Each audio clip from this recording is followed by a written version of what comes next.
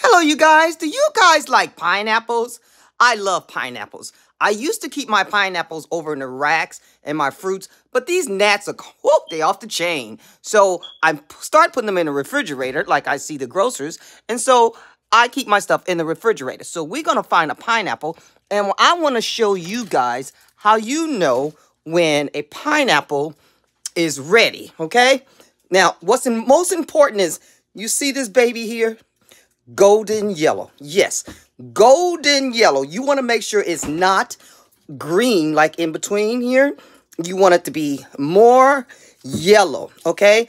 And also very important, you go to the top of the water of the of pineapple, and if it comes out easy, mm -hmm, like this, that is proof in the pudding that it is ready to be eaten and juice.